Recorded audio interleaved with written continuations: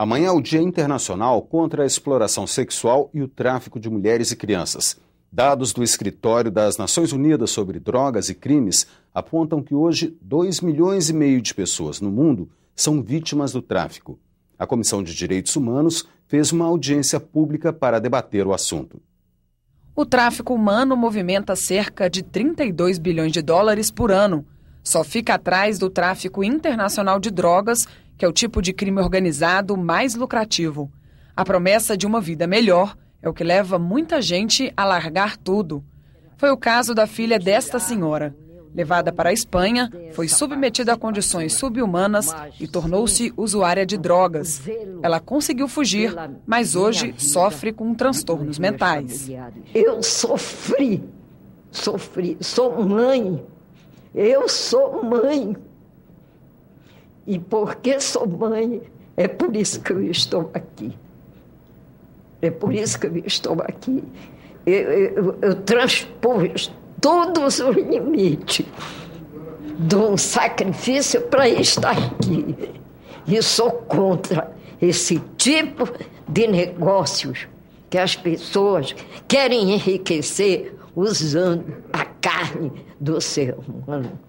As mulheres são a maioria esmagadora das vítimas. Segundo dados da OIT, do tráfico de seres humanos, 98% do tráfico é de mulheres e não de homens. Então, mulheres e meninas. O tráfico ele ocorre não somente para motivos de exploração sexual, mas também para adoção de crianças, para remoção de órgãos e também para submissão a condições degradantes de trabalho e de servidão. Historicamente, culturalmente, a mulher desde o seu nascimento, é vista como algo que não tem uma identidade própria, como um ser humano que vem cumprir um papel de pertencimento de alguém.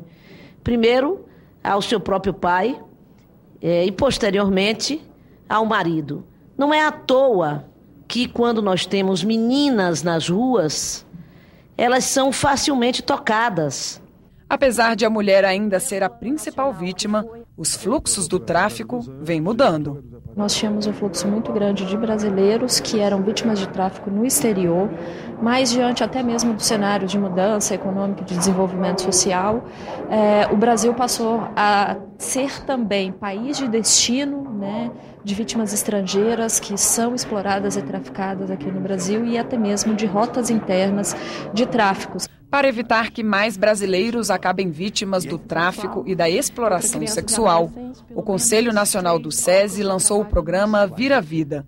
A ideia é ensinar uma profissão a jovens de 15 a 21 anos em situação de vulnerabilidade. Na grande maioria dessas crianças foram abusadas nas suas famílias. Aí ganham as ruas, vão se prostituir e daqui a pouco a morte precoce, porque vem a violência vem as drogas. Então, por isso que eu falo, este é um projeto que salva vidas literalmente. Karina Figueiredo, do Comitê Nacional de Enfrentamento à Violência Sexual de Crianças e Adolescentes, pediu atenção especial às obras em andamento no país, que provocaram aumento no número de casos de abuso e exploração sexual. Nós tivemos recentemente, é, lá em Porto Velho, visitamos Giral, né, que fica às margens do Rio Madeira, onde está sendo construída duas hidrelétricas, né, que é Santo Antônio e Giral. Já existia ali uma rede de exploração sexual que se estruturou e se organizou para oferecer esse serviço a esses trabalhadores. O que, que a gente percebe? Que isso tem se colocado de forma natural no nosso país. Então, o importante é o país crescer. Vamos nos tornar a quinta economia do mundo, às custas de violação de direitos humanos, de trabalhadores, de mulheres, de meninas. É isso que a gente quer para o nosso país? O Senado tem uma CPI em funcionamento que investiga o tráfico de pessoas. Em seis meses de trabalho, já foram realizadas diligências em quatro capitais do país. A próxima deve ser dia 26, em São Paulo.